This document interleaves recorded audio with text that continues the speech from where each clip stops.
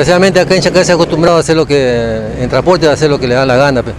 Yo creo que esta, esta gestión que estamos, o sea, esta comisión que está ahorita en, en actividad, estamos buscando que las cosas se, se solucionen ¿no? de, buena manera. Con el señor Ortega hemos conversado ya en tres, oportunidades y a ti te consta que hemos estado en, el, Consejo. Y él dijo que solamente 10 días quería para, para él conseguir un terminal para que los carros no tengan afuera en la calle.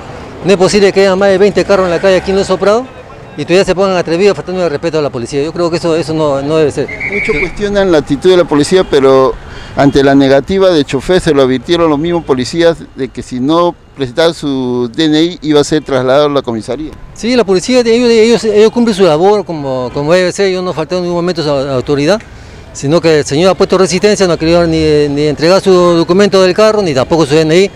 Y yo creo que a un policía se le debe respetar y se debe, de- de- si el policía está pidiendo su DNI, debe, debe, debe dárselo. pues. Su carro, señor, es este carro blanco de placa F9E648.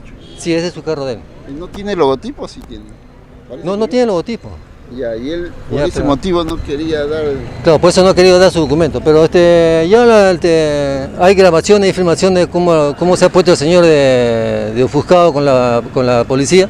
Yo creo que eso no va a tener ningún problema porque la, la, afirmación que se ha hecho es una, es una cosa verídica.